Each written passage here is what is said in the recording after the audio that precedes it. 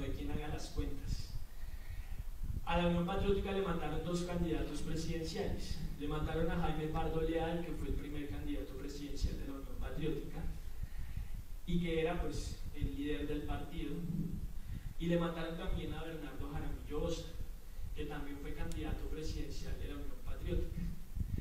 En la misma campaña presidencial, asesinan a Bernardo Jaramillo asesinan a Carlos Pizarro, y Carlos Pizarro llevaba solo 30 días en la vida civil, porque 30 días antes habían firmado el M-19 los acuerdos con el gobierno y había entregado las armas. Y Carlos Pizarro participó en política como candidato a la alcaldía de Bogotá y participó en política después como candidato presidencial y es asesinado solo 30 días después de eh, que la, el M-19 entrega las armas. Y también en esa misma campaña presidencial asesinan a Galán. ¿Y por qué ocurre eso? Pues por un problema que ha existido pues siempre en Colombia y es que eh, no se puede participar en política porque es muy costoso y porque también eh, si usted intenta representar intereses diferentes a los que pues han gobernado siempre, lo más seguro es que sufra amenazas o sea amenazado o lo terminen matando. Un ejemplo es Aida Bella. Si usted era de la Unión Patriótica en los 80 y no lo mataron, eh, o si usted era de la Unión Patriótica y decide dejar de participar en política para que no lo mataran, eh, la otra opción también era pues, que terminara exiliada o exiliado en otro país. Ayla Bella en los 90 fue concejal eh, de Bogotá por la Unión Patriótica y sobrevivió a un atentado eh, con un rocket que le hicieron eh, en la 26 aquí en Bogotá. Después de ese atentado se exilia en Europa y vuelve solo hasta hace tres años cuando ocurre la firma del acuerdo en el Teatro Colón. Y ahora pues es senadora de la República.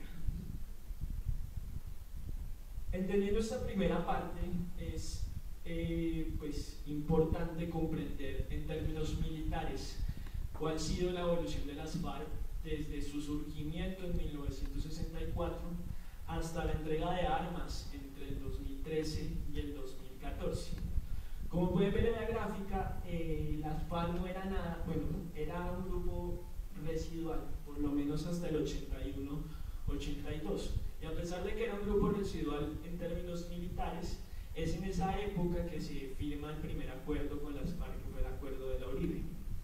Es precisamente entre el 82 y el 2002, sobre todo en los 90, que las FARC crecen de manera exponencial hasta su pico más alto que es en el 2002 cuando llegaron a ser, según cifras oficiales, por lo menos 20.000 efectivos militares. Eh, y es a partir del 2002, por el Plan Colombia, por eh, la política de seguridad democrática, por el Plan Patriota, eh, por el Plan Consolidación, por la serie de planes que se empiezan a implementar en el país a partir de la reingeniería que significó el Plan Colombia para las fuerzas militares del país, que pues las FARC empiezan a retroceder y empiezan a reducirse también de manera exponencial. Es en los 90 cuando las FARC crecen eh, en términos militares, pues que seguramente sus padres eh, recuerdan las tomas de pueblos cada semana, eh, los robos de bancos, los ataques en las ciudades, por ejemplo, mm, algo que, se, pueden recordar muchas personas y que es fácil encontrar en internet es un ataque con un roquetazo que le hacen a la sede de Gana acá en Bogotá. se empiezan a tener frentes urbanos en diferentes ciudades del país y dejan de ser una guerrilla para empezar a convertirse en un ejército regular. ¿La diferencia cuál es? Pues que ya no son 20, 30 guerrilleros escondidos esperando eh, emboscar a un grupo de soldados, sino que llegaban a una base militar 2.000, 3.000 guerrilleros y pues acababan con la base militar y se llevaban de prisioneros 200, 300 soldados. Es en los 90 que ocurre eso, y es en los 90 que precisamente también se consolidan las convivir. Digamos que en las redes sociales se repite mucho que Álvaro Uribe Vélez fue el que creó las convivir, pero eso no es así.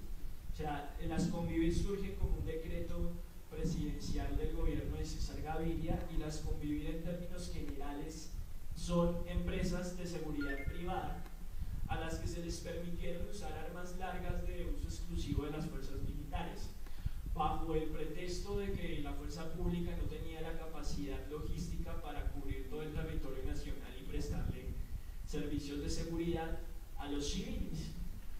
¿Cuál es el problema? Pues que cuando Álvaro Uribe era gobernador de Antioquia, es en Antioquia donde se desarrollan de manera más eh, pues impresionante convivir en todo el departamento. Y eh, desde la gobernación se promovió el desarrollo de convivir, que, y en muchos casos esas convivir se convirtieron eh, en esos años en grupos paramilitares.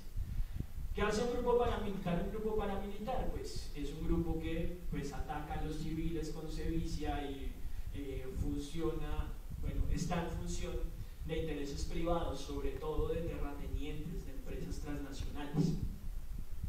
Por ejemplo, Salvatore Mancuso se convierte en comandante de las Autodefensas Unidas de Colombia, pero pues él era un tipo, era lo que ellos llaman, era gente de bien, de Córdoba, y eh, Salvatore Mancuso es el único comandante de las autodefensas que Álvaro Uribe acepta que conoce. ¿Por qué? Porque los Mancuso y los Uribe se conocen de toda la vida. Eh, ¿Por qué pongo la columna de el joven Iván Duque cuando tenía la edad de ustedes? Porque en los 90 él escribe una columna de opinión en un periódico, creo que era un periódico liberal, en donde precisamente la columna está criticando la política del gobernador Álvaro Uribe y en donde en esa columna él explica que muy posiblemente eso va a llevar a violaciones a los derechos humanos y al derecho internacional humanitario. Que es finalmente lo que ocurrió. O sea, el problema con las convivir eh, es que muchas se terminan convirtiendo en grupos paramilitares que son protagonistas de masacres en todo el país. Y muchas terminan incorporándose a lo que se llamaron las Autodefensas Unidas de Colombia qué son las Autodefensas Unidas de Colombia? Pues fue una confederación nacional de grupos paramilitares que tenían, que respondían a, a una sola eh, comandancia y en la cabeza de esa comandancia estaba Carlos Castaño. ¿Qué es lo que ocurre con estos grupos paramilitares durante los 90? Mientras las FARC y el ELN eh, están creciendo en términos militares, pues que ellos también empiezan a crecer. A finales de los 90, eh, las Autodefensas Unidas de Colombia eran por lo menos 10.000 efectivos. ¿Y cuál es el problema? Pues que realmente las autodefensas no combatían a la como se suele creer. Las autodefensas empezaron a practicar de manera sistemática masacres en toda Colombia. De las 1982 masacres contadas por el Centro Nacional de Memoria Histórica, por lo menos 1.100 son responsabilidad del paramilitarismo, 343 son responsabilidad de grupos guerrilleros, 158 son responsabilidad de la fuerza pública, sea ejército o policía. Eh, por lo menos 20 han sido identificadas como masacres en donde participaron activamente miembros de la fuerza pública y miembros de grupos paramilitares. Y en 290 no se sabe exactamente qué grupos las eh, perpetuaron. ¿Y una masacre qué es? Llegar a un pueblito de esos que aparecen en el mapa, eh, reunir a toda la gente del pueblito y, por ejemplo, empezar a matar de manera con sevicia a 30, 40 personas. Y cuando digo con sevicia, ¿qué es? Eh, cortarle la cabeza a un campesino y jugar con la, con la cabeza fútbol, por ejemplo. ¿Y eso con qué propósito? pues si usted vive en ese pueblo y usted presencia eso y le dice que se tiene que ir o si, o si no le va a pasar lo mismo, pues usted se va y deja todo botado. Y después de que desocuparon un montón de pueblos, sobre todo en el norte del país, lo que ocurrió en todos estos años fue que empezaron a llegar terratenientes, los que después fueron futuros palmicultores o ganaderos y se quedaron con esas tierras. Las autodefensas entregaron las armas en el 2006, después de que eh, se implementa lo que se llamó la Ley de Justicia y Paz. La Ley de Justicia y Paz se implementa en el primer gobierno de Álvaro Uribe Vélez y, y la bancada que votó esa Ley de Justicia y Paz fueron los 60 congresistas que fueron metidos a la cárcel por sus relaciones con el paramilitarismo. Lo que se llama la parapolítica, ¿qué es? Pues que estos congresistas llegaron allá porque estos paramilitares que se empezaron, empezaron a practicar masacres en toda Colombia obligaron a mucha gente a votar por ellos. ¿Para qué? Para llegar al Congreso y cuando uno revisa las leyes que votaron estos congresistas, pues en lo único en lo que estaban de acuerdo todos y en lo que votaban de manera juiciosa era en la ley de justicia y paz, que al final en qué se convirtió, pues en una ley de amnistía al paramilitarismo. Si ustedes revisan las declaraciones de cualquier líder del uribismo hoy en día, normalmente eh, sacan pecho y dicen que, pues que ellos también hicieron procesos de paz y que su proceso de paz modelo fue este. Pero realmente cuando uno se pone a revisar, eh, lo que ocurrió fue que la mayoría de las 30.000 personas que entregaron las armas en esos años volvieron a incorporarse a grupos paramilitares en los años siguientes. Ya no están organizados de la misma manera como se organizaron en tiempos de las Autodefensas Unidas de Colombia. Ya son grupos diferenciados que no tienen alcance nacional, pero eh, siguen eh, pues con prácticas paramilitares. Uno de los grupos más grandes que hoy llaman bandas criminales es el Clan del Golfo según esa gráfica que hay ahí, hacen presencia en 250 municipios, pero esa gráfica es vieja. Hoy en día se habla de que el Clan del Golfo puede estar por lo menos en 400 municipios del país, de 1100 municipios que tenemos. ¿Qué son prácticas paramilitares? Prácticas paramilitares es, por ejemplo, el policía que amaneció colgado en la Caracas con 61 hace unas semanas. ¿sí? Prácticas paramilitares que son, pues, eh, las casas de pique que hay en diferentes lugares del país, que hay en Bogotá también y que hay reportadas en varias localidades. ¿Y qué es una casa de pique? Pues una casa de pique es un lugar donde lo llevan a usted, lo parten en pedacitos para después eh, repartir sus pedazos por todo el barrio y así mandarle un mensaje a toda la comunidad del barrio. ¿Y el mensaje es? Pues que si usted no hace lo que el grupo armado quiere que usted haga, pues le va a pasar más o menos lo mismo. Ahora, paralelo a el crecimiento de la guerrilla, paralelo a el crecimiento del paramilitarismo y su posterior pues, desmovilización, paralelo a las masacres,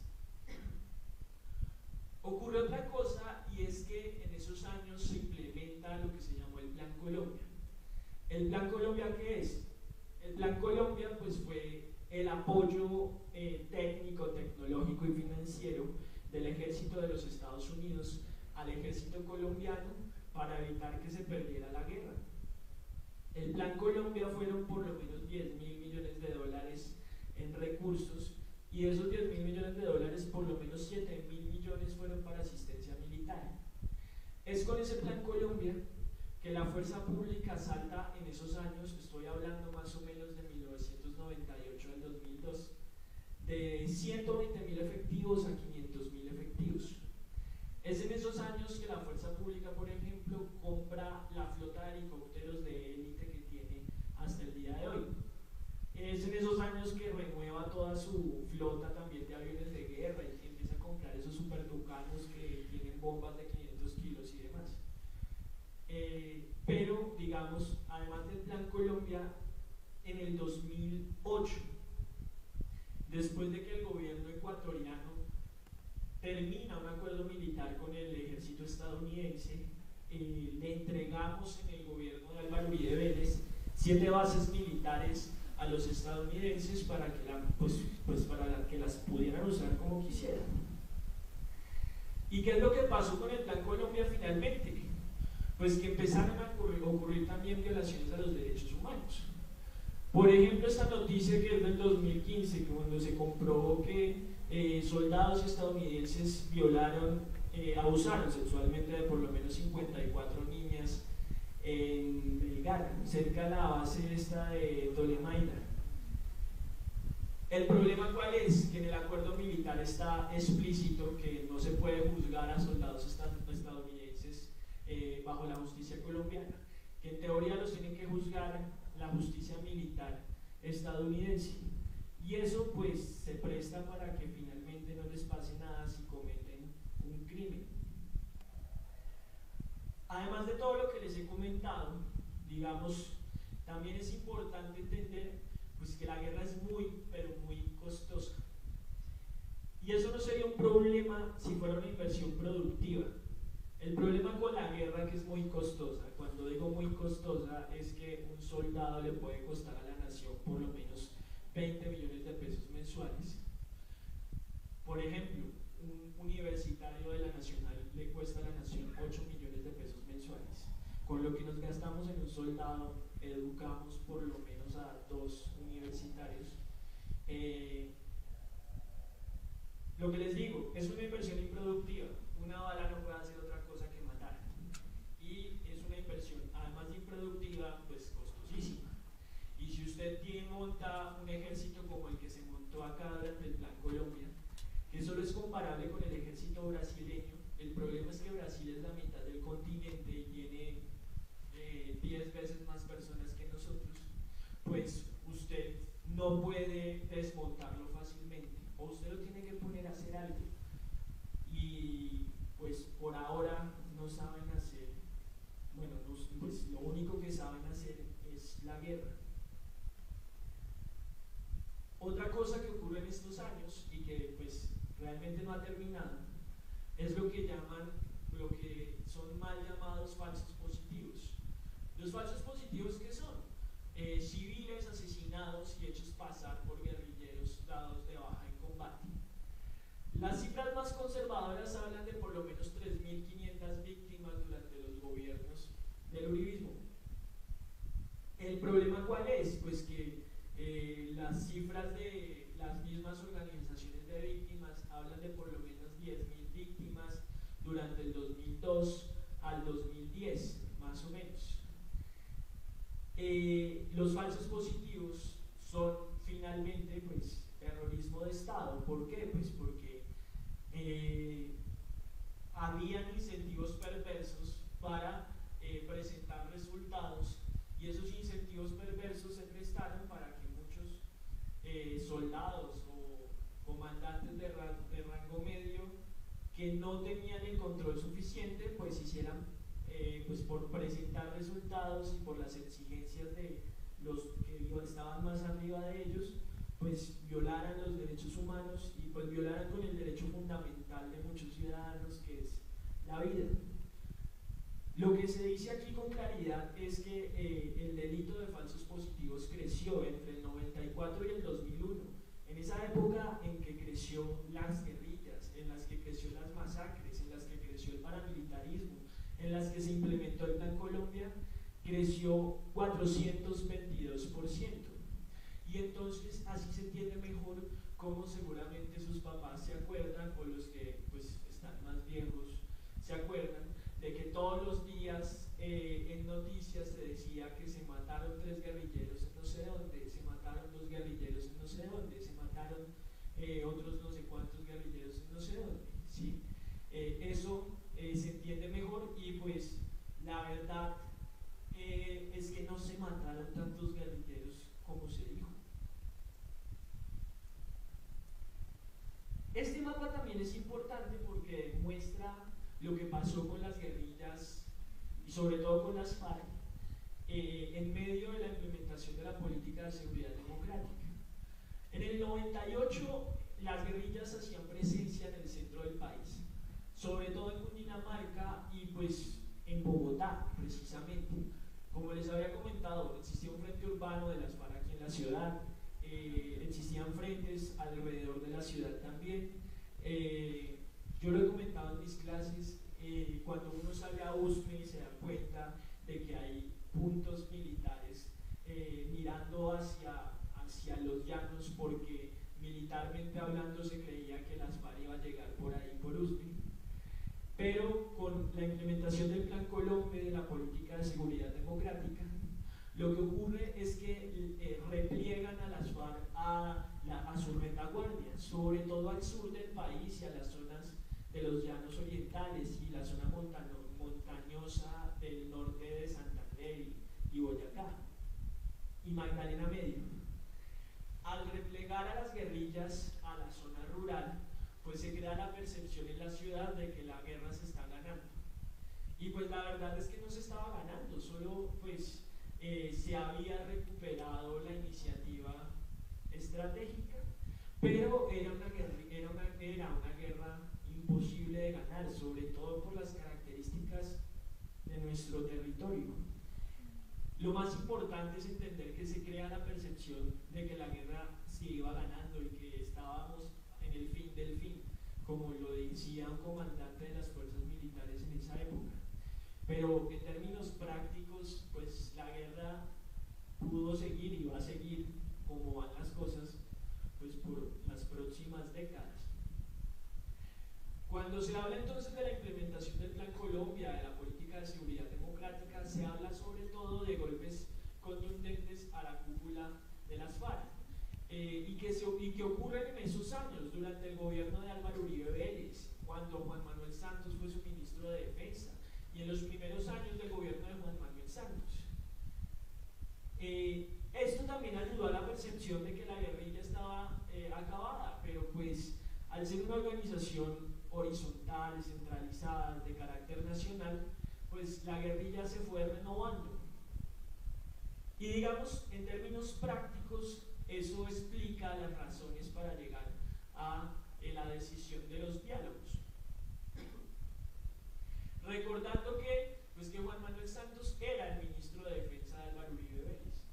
O sea, era el tipo que estaba al frente de todos estos golpes militares que se le dio a las FARC. Eh, y, si el, y el mismo tipo es el que toma la decisión, pues ya de Estado, de que lo más práctico y lo más responsable es terminar el problema de manera dialogada. ¿Y por qué? Pues porque, bueno, eso estaba y partía de una serie de principios. Eh, el principal es que la solución militar es mucho más larga y dolorosa. O sea, usted no puede ser tan irresponsable de dirigir a un país a una guerra que seguramente se va a demorar muchas décadas más y que nos va a causar muchísimos más muertos de los que ya nos ha causado. ¿sí? Una de las ganancias más importantes de estos últimos tres años es sobre todo los muertos que nos hemos ahorrado a pesar de que por lo menos en las últimas dos semanas estamos volviendo a escuchar pues que mataron soldados, mataron no sé cuántos soldados no sé dónde, eh, el video que seguramente ustedes vieron en redes sociales del soldado llorando en medio del combate en el Cauca, o los guerrilleros, o, que mataron a 14 disidentes de las FARC de un bombazo en Caquetá, todas esas noticias que estamos volviendo a ver en los últimos meses. Otra de las razones para llegar a una solución dialogada al conflicto es sobre todo pues, poner a las víctimas en el centro del acuerdo. Y eso no era una cuestión retórica, era una cuestión práctica que se, empezó a, que se ha empezado a implementar por lo menos en el último año y medio, con lo que se llama la Justicia Especial para la Paz y con lo que se llama la Comisión de la Verdad. Pero de eso vamos a hablar un poquito más adelante.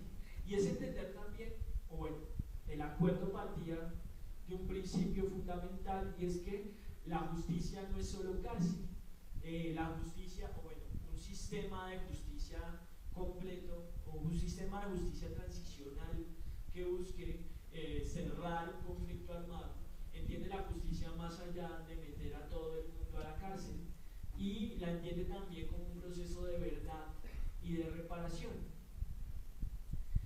la reparación, pues, no, la, la reparación no solo es material, la reparación también es simbólica y espiritual. Y eso nos puede parecer una nimiedad, pero realmente la reparación simbólica implica, por ejemplo, que las víctimas entiendan por qué les pasó lo que les pasó, o que les expliquen exactamente quiénes fueron los responsables de lo que les pasó. Que eso muchas víctimas en este país no lo saben. Entendiendo otra cosa, es que el perdón no es una obligación. O sea, si usted es víctima de las FARC, de un grupo paramilitar o de la misma fuerza pública, pues usted tiene todo el derecho a odiar a sus victimarios, pero usted no, usted debería tener la posibilidad de superar ese odio y no buscar venganza, porque finalmente otra de las razones por las que nos mantenemos en guerra en Colombia es porque o dirigentes políticos eh, promueven la venganza o diferentes bandos promueven la venganza, no solo en esta guerra, sino en las últimas, en las guerras de los últimos 200 años. Otra cosa importante, entender que el centro, en el centro del problema está la desigualdad en el campo.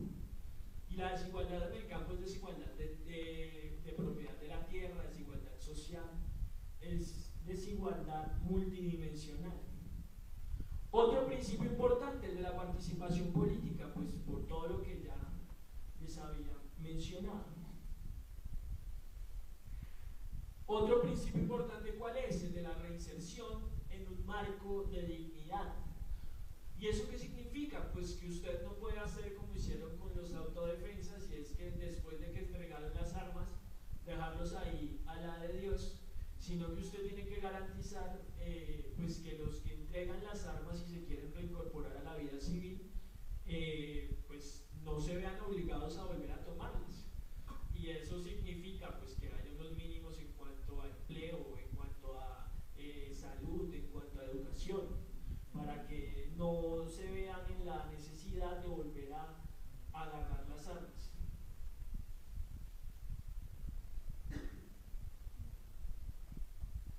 Ahora, eh, es importante también explicar, y me disculpo por esta gráfica no es mía, eh, hay tres fases en las que se organizó este proceso de paz. Una primera fase que, fue, que termina en agosto del 2012 y fue una fase exploratoria, en donde las FARC y el gobierno de Juan Manuel Santos se pusieron de acuerdo en cuanto a los principios básicos de la negociación. O sea, cuáles iban a ser las reglas, qué es lo que, hasta dónde iban a llegar, quiénes iban a ser los garantes y demás, cuáles eran los puntos de negociación, todo eso lo acordaron en una fase pues, que fue secreta y que anunciaron en Noruega en agosto del 2012. La segunda fase termina hace tres años, en el 2016, con la firma del acuerdo del Teatro Colón y fue la fase de diálogos que fue sobre todo en La Habana, en donde se dialogaron los seis puntos a los que habían llegado eh, pues a consenso en la primera fase. Y en teoría estamos en la tercera fase. La tercera fase es la más larga y está pensada para los próximos 10 años. Seguramente pueden ser más. Y es la fase donde se debería involucrar toda la ciudadanía, que es la fase de construcción de paz. Porque al final, cuando uno se pone a revisar los acuerdos punto por punto, se da cuenta que eh, los puntos que ver única y exclusivamente con beneficios a las FARC son muy pocos.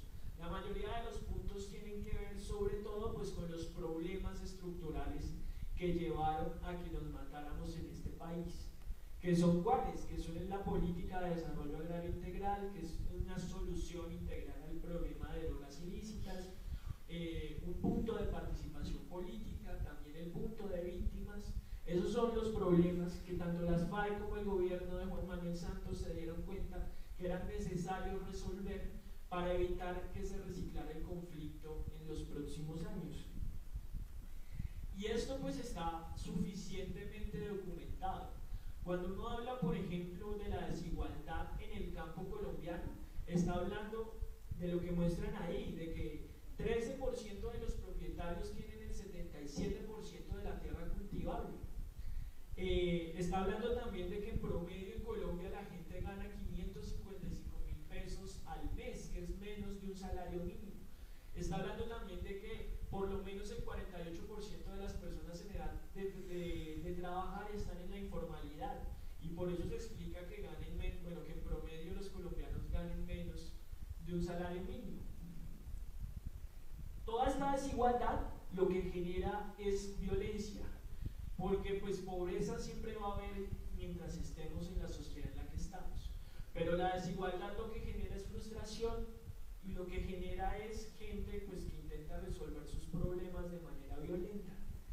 Por eso el punto 1 del acuerdo contemplaba, contempla la necesidad de hacer una reforma rural integral para poder eh, reducir de manera radical las desigualdades en el campo colombiano.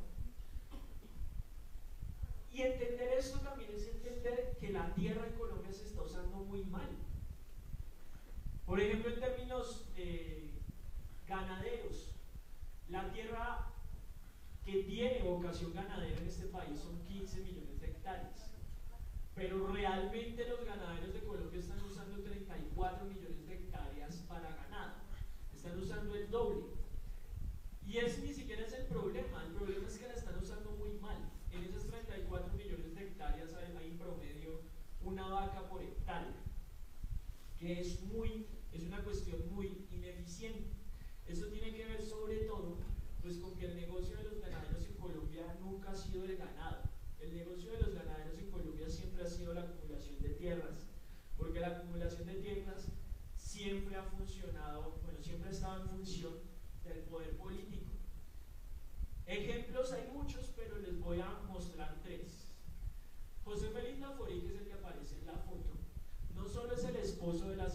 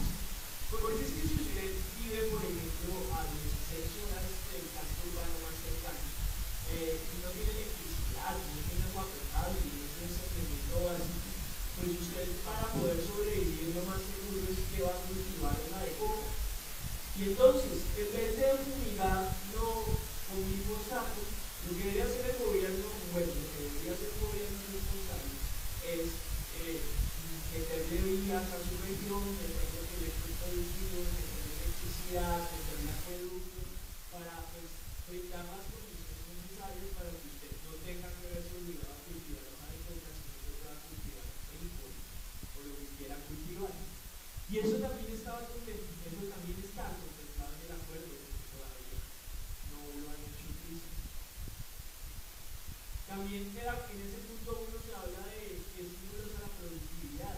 Cuando uno habla de estímulos a la productividad, ¿de qué está hablando? No está hablando de, de abrir esos seguros, está hablando de pues, que, el Estado tiene que respaldar a los pequeños productores para que puedan sacar adelante, sacar adelante sus proyectos productivos.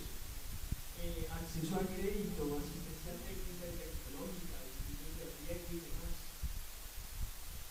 Eh, por otro lado, en ese mismo punto se habla de programas de desarrollo que territorial. ¿Por qué? Pues porque eh, hemos tenido una concepción del desarrollo colombiano muy desde Bogotá, en donde el Ejecutivo Bogotá no va a ir los campesinos que hacer. Y la idea es precisamente, bueno, la intención es eh, golpear el principio y empezar a construir el desarrollo desde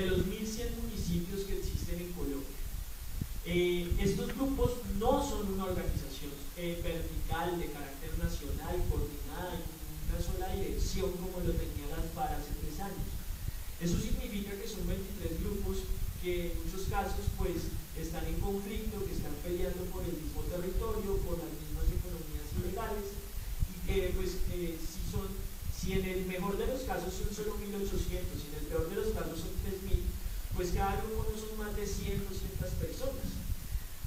En ese orden de ideas, lo más importante ahorita es que la sociedad entera produce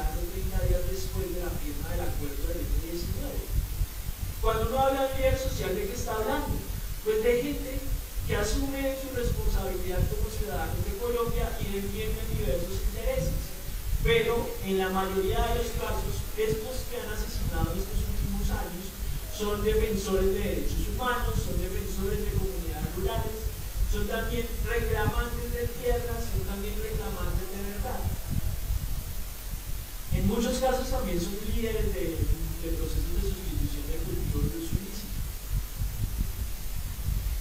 Ahora, con todo esto que les he contado, digamos que lo que yo les quiero, a lo que yo les quiero invitar es a no quedarnos con esta imagen, sino más bien a quedarnos con esta imagen de los que se mantienen en la legalidad a pesar de todos los problemas.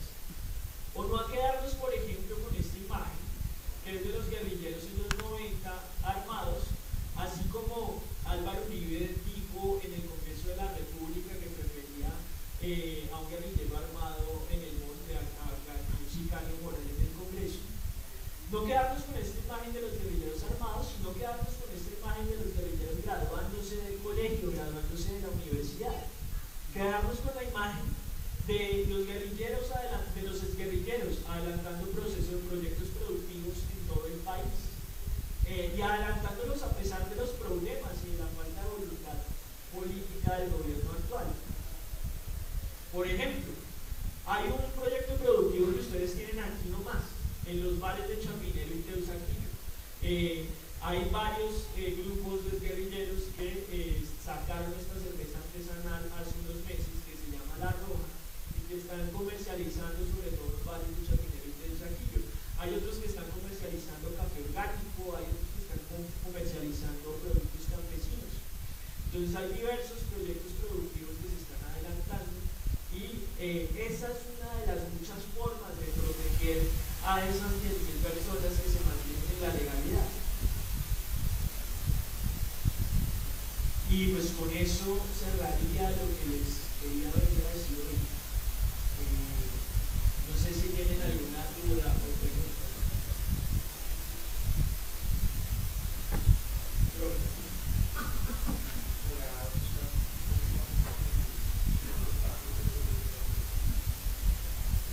Con el de los paramilitares. Digamos que lo más importante es, por lo menos para mí, es eh, entender que la mayoría de los paramilitares volvieron a rearmarse. O sea, las bandas criminales de las que, se habla son en la mayoría de los casos los mismos eh, paramilitares de las autodefensas que no lograron a la vida civil. La ley de justicia y paz contemplaba, por ejemplo, eh, penas de 8 años de cárcel, independientemente si usted Independientemente si usted eh, era responsable de una, dos, tres, cinco masacres, usted recibía máximo ocho años de cárcel. Eh, digamos que eso es lo que explica que las penas de la justicia especial para la paz hoy en día sean pues mínimas, porque, porque el Estado colombiano está obligado a darle los mismos beneficios, a, bueno, a no dar menos beneficios a los que ha dado antes. O sea, los que hoy se quejan de que eh, en términos penales se le están dando mucho, muchos beneficios a los guerrilleros, pues son los mismos que decidieron que los, a los paramilitares se le dieran máximo ocho años de cárcel en la ley de justicia y paz.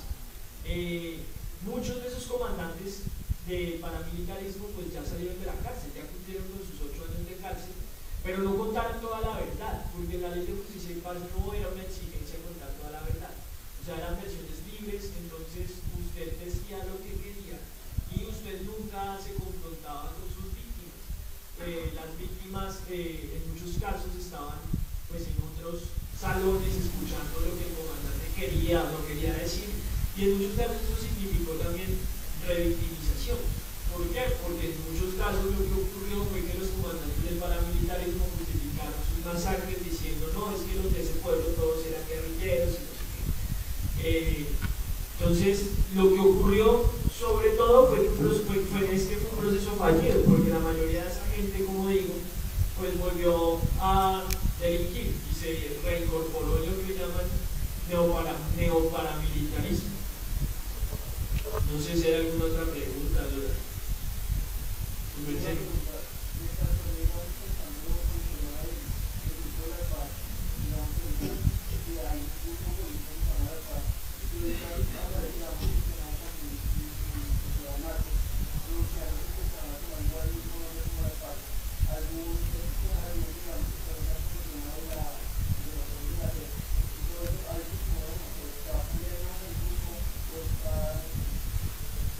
Yo, entendido que sí lo van a cambiar,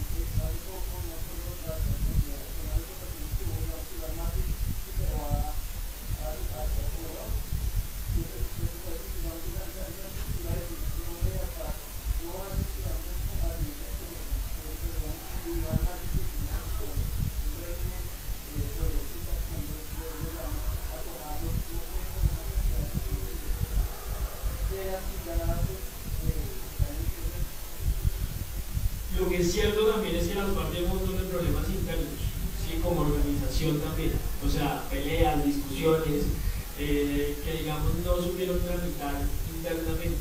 Entonces, eh, Iván Márquez es como el representante de la ala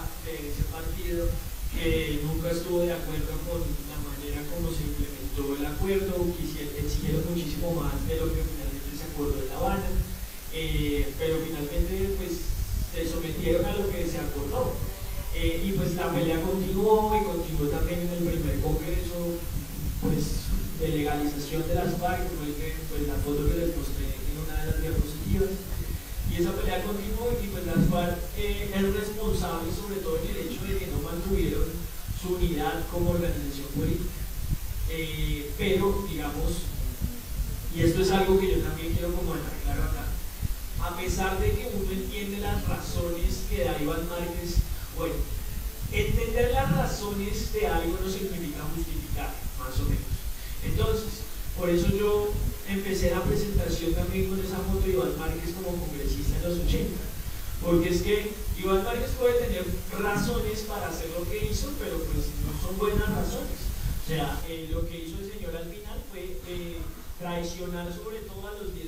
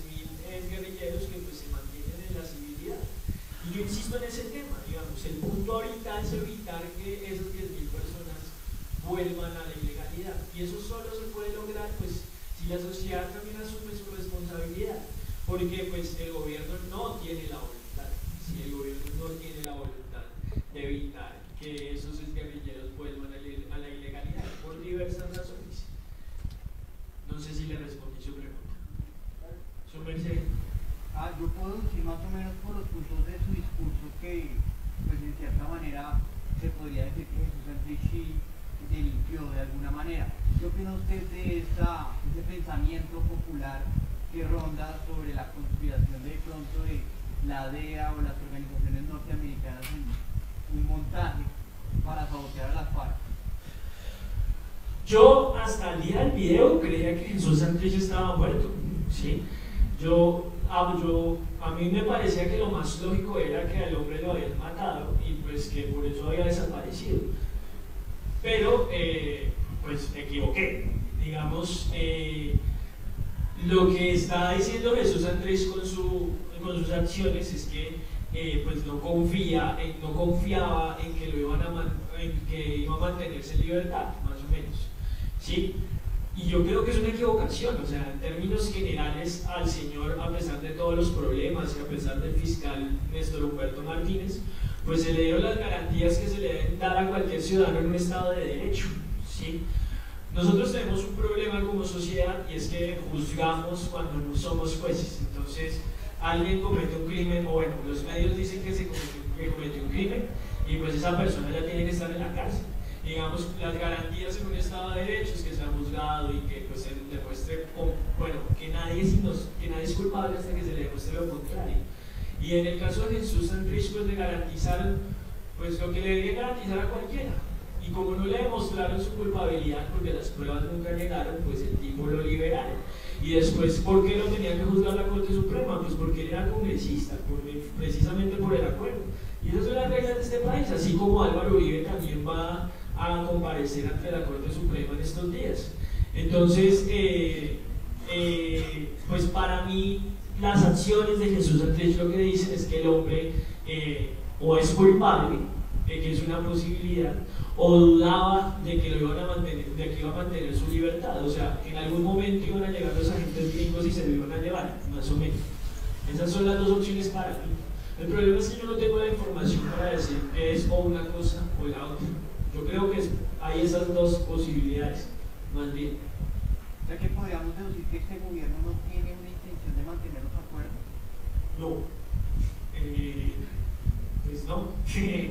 Digamos, se, se, eligió bajo la promesa de que iba a hacer trizas los acuerdos. Y pues lo ha intentado y digamos hay cosas que ha logrado retroceder y otras que le ha quedado un poco más complicado. Porque también pues el gobierno no está mayor, no tiene mayorías absolutas en el Congreso y hay sectores dentro de la élite de este país que pues le interesa implementar los acuerdos por diversas razones. Entonces no ha logrado hacer trizas los acuerdos en su totalidad.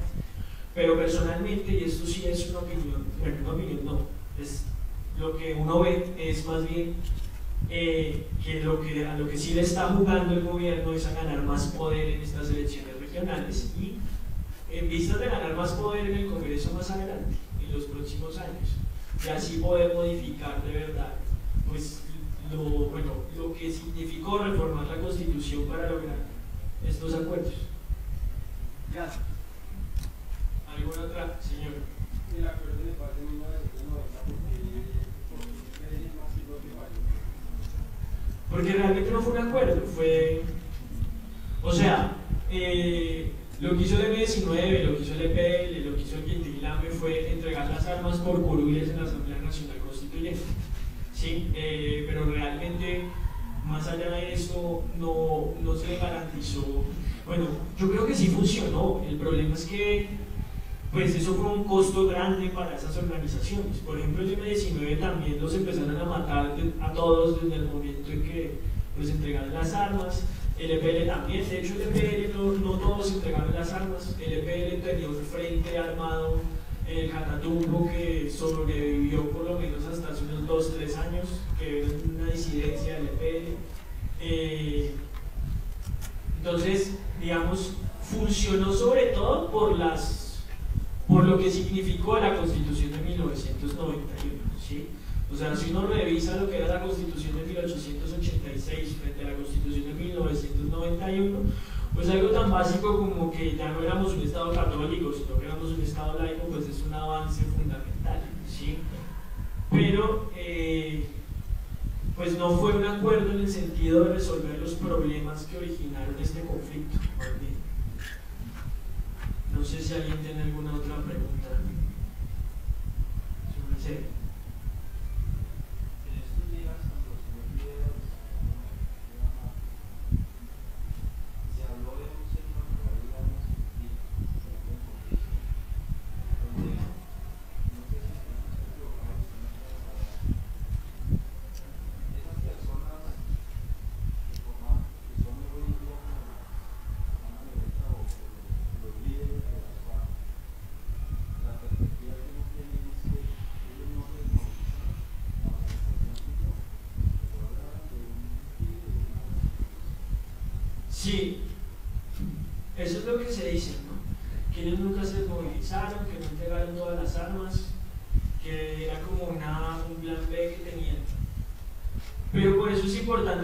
esa parte.